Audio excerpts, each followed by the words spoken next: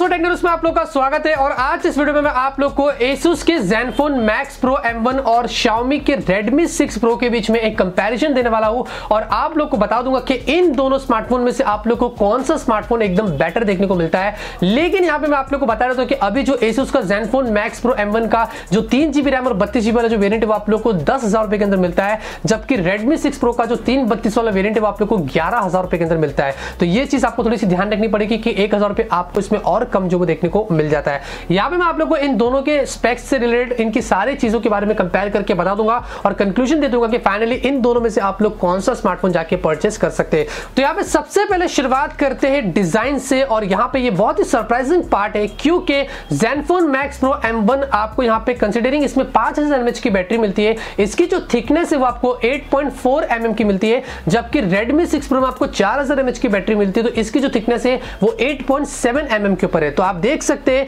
कि बैटरी 5000 होने के बावजूद भी उन्होंने अपने फ़ोन की स्लिमनेस को मेंटेन किया है Asus ने। तो ये काम मुझे Asus का काफ़ी सही लगा, जबकि रेडमी सिक्स प्रो थोड़ा सा आपको बल्कि नज़र आता है। अगर आप दोनों को पास पास रखते तो आपको थोड़ा सा यहाँ पे फील आ जाता है। यहाँ पे दोनों की अगर मैं वेट की बात करता हूँ तो Asus का Max Pro M1 आपको 180 ग्राम में मिलता है, जबकि Redmi 6 Pro आपको 178 ग्राम का मिलता है। तो वज़न में भी यहाँ पे ज़्यादा फ़र्क नहीं है कंसिडरिंग इसमें ज़्यादा बैटरी आपको मिल रही है 5000 की। उसके हिसाब से भी आप लोग यहाँ पे वज़न भी उन्होंने काफ़ी अच्छा मेंटेन किया है। यहाँ पे दोनों की अगर मैं बिल्ड क्वालिटी की बात करता हूँ तो मैक्स प्रो एम में आप लोग को एक मेटल बॉडी मिलती है, जो काफ़ी अच्छा है, काफ़ी ड्यूरेबल है। लेकिन रेडमी सिक्स प्रो के अंदर जो फिनिशिंग आपको मिलती है, वो यहाँ पे प्लास्टिक में मिलती है। तो ये थोड़ा सा चीप हो जाता है, लेकिन हाँ बिल्ड क्वालिटी के मामले में एसूस ने यहाँ पे काफ़ी अच्छा काम किया है। तो यहाँ पे डिज़ाइन और अगर मैं बिल्ड क्वालिटी की बात करता हूँ तो मैक्स प्रो एम आपको वे बेटर देखने को मिलता है कंसिडरिंग रेडमी सिक्स प्रो के। बात करते हैं यहाँ पे दोनों की डिस्प्ले की। तो यहाँ पे दोनों के अंदर वैसे आपको डिस्प्ले काफ़ी कमाल का मिलता है। Zenfone Max Pro M1 के अंदर आप लोग को 6 इंच की एक फुल एच डी प्लस की डिस्प्ले मिलती है।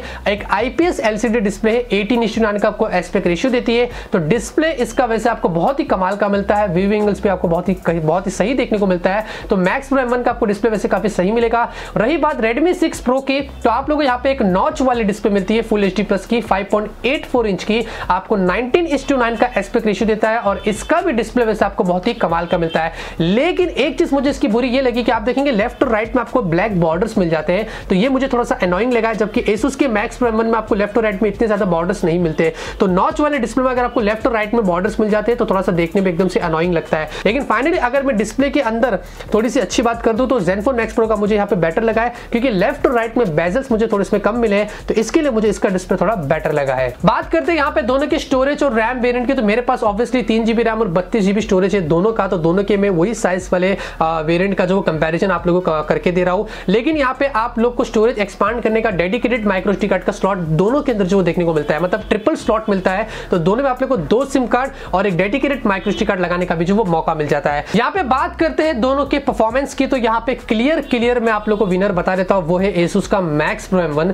यहाँ पे Max Pro M1 में आप लोग को Snapdragon का 636 वाला प्रोसेसर मिलता है, जबकि Redmi 6 Pro में आप लोग को Snapdragon का 625 वाला प्रोसेसर मिलता है। ये 2 गीगाहर्ट्ज के ऊपर क्लॉक है ऑक्टा कोर वाला Cortex A53 पे आपको मिलता है। जबकि 636 आप लोग को 1.8 गीगाहर्ट्ज के ऊपर मिलता है, Snapdragon 636 परफॉर्मेंस की बात करूँ तो बहुत ही कमाल का आपको ये प्रोसेसर मिलता है। ये आप लोग को 625 से वे बेटर जो वो देखने को मिलता है। जीपीयू की बात करते हैं तो Zenfone Max Pro M1 में आप लोग को Adreno 509 वाला जीपीयू मिलता है। तो आप लोग को Snapdragon के 625 के अंदर Adreno 506 का जीपीयू मिलता है। तो यहाँ पे कोई मैं बड़ा कंपैरिजन नहीं कर सकता हूँ। क्लियर क्लियर आपके सामने है कि Max Pro M1 का प्रोसेसर आप लोग को Redmi 6 Pro से बेटर देखने को मिलता है। यहाँ पे रही बात दोनों फ़ोन के कैमरे की तो आप लोग को दोनों के अंदर पीछे की तरफ़ डुअल रियर फेसिंग कैमरा मिलता है। तो Zenfone Max Pro में आप लोग को 13 प्लस 5 मेगापिक्सल का डुअल रियर फेसिंग कैमरा मिलता है। F2.2 का एपर्चर मिलता है। तो Redmi 6 Pro के अंदर आप लोग को 12 प्लस 5 का डुअल रियर फेसिंग कैमरा मिलता है। इसमें भी आप लोग को f2.2 का एपर्चर मिलता है और दोनों में आप लोग को फुल एचडी वीडियो रिकॉर्डिंग का मौका मिलता है। यहाँ पे अगर मैं ऑनेस्टली अगर आपसे कहता हूँ तो मुझे Zenfone Max Pro का कैमरा थोड़ा अच्छा लगा है compare to Redmi six pro के। आप देखेंगे, मुझे यहाँ पे थोड़ा सा क्लैरिटी ज़्यादा मिली है Max Pro M1 के अंदर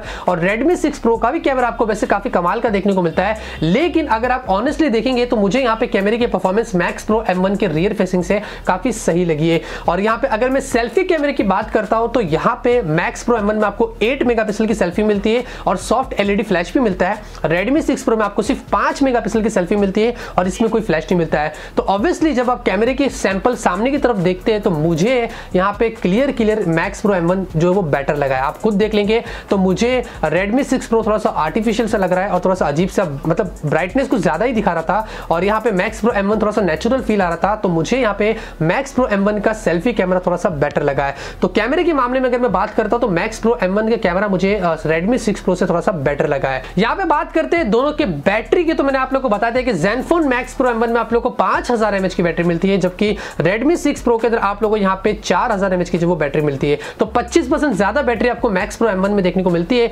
लेकिन आपको ये और भी अच्छा बैटरी बैकअप देगी, क्योंकि आप लोगों को यहाँ पे स्टॉक एक्सपीरियंस मिलता है। मतलब कोई ब्लोटवेयर नहीं है, कोई फालतू का आपको रैम मैनेजमेंट जैसा कुछ सीन जो वो देखने को नहीं मिलेगा। यहाँ पे रेडमी सिक्स प्रो में आप लोग को मी यू मिलता है तो इसमें आपको बहुत सारे ब्लोटवेयर मिलते हैं। अभी रिसेंटली इतने सारे एडवर्टाइजमेंट उन्होंने अपने यू में घुसट दिए तो मुझे बहुत ही अजीब लग रहा था। और मैंने जब फ़ोन को बूट किया तो सबसे पहला एडवर्टाइजमेंट मुझे सबवे सर्फर का सामने जो दिखाई दिया। तो मैंने तुरंत स्क्रीनशॉट ली और आप अपने स्क्रीन पे देख सकते हैं, ये वाला गंदा सा एडवर्टाइजमेंट मुझे यहाँ पे जो सामने आ चुका था। तो यहाँ पे रेडमी सिक्स प्रो का आपको 4000 की बैटरी मिलती है लेकिन इसका UI बहुत ही बहुत ही अजीब सा है तो मुझे लगता है कि इसको थोड़ा सा चेंज करना चाहिए उनको। यहाँ पे आप लोगों को Max Pro में स्टॉक एक्सपीरियंस मिल रहा है एंड्रॉइड 8.1.0 पे। तो मेरे हिसाब से एक्सपीरियंस आपको यहाँ पे काफ़ी अच्छा होगा। यहाँ पे मैं कुछ एडिशनल फीचर्स की बात करता हूँ। इन दोनों फ़ोन की तो आप लोग को फोर जी दोनों के अंदर जो वो देखने को मिलता है प्लस आपको दोनों में फिंगरप्रिंट स्कैनर और फेस अनलॉक मिलता है। आप दोनों ही बहुत ही ज़्यादा फास्ट है तो मैं यहाँ पे कोई कंपेरिजन नहीं कर सकता हूँ। लेकिन यहाँ पे आप लोग को मैक्स प्रो एम में एक और एडिशनल फीचर मिलता है, जो आपकी ऑडियो क्वालिटी को और एनहांस कर देता है। मतलब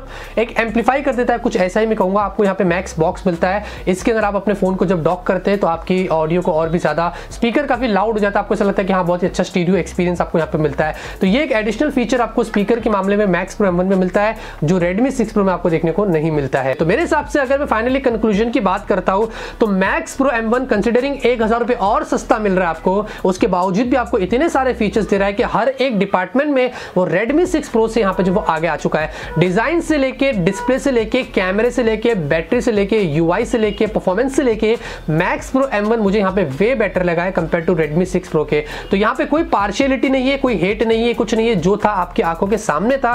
मैंने क्लियरली स्पेक्स को कंपेयर कर दिया। मैंने आप लोगों को कैमरे के सैंपल्स दिखा दिया परफॉर्मेंस भी बता दिया डिस्प्ले की क्वालिटी भी बता दी। हर एक चीज़ मैंने आप लोगों को यहाँ पे सामने रख के बता दिया कि दोनों में से आप लोग को कौन सा बेटर मिलता है और ये तो आपको एक हज़ार रुपए और भी कम दे, कम जो वो देने पड़ते। हैं तो यही थी मेरी कंपेरिजन दोनों के बीच में आप मुझे कमेंट करके बताएँ कि आप लोगों को क्या लगता है कि दोनों में से आप लोगों को कौन सा फ़ोन बेटर लगता है? तो आप लोग अपने हिसाब से भी डिसाइड कर सकते हैं। अगर आपको ये वीडियो पसंद आया तो आप ज़रूर से इस वीडियो को लाइक करिए। तो मैं फ्यूचर में ऐसे कंपेरिजन वीडियोस लाता रहूँगा और आप लोग को ऐसे ही अपडेट करता रहूँगा। मिलते हैं आपसे वीडियो में नए वीडियो के साथ। Till then great day and always keep smiling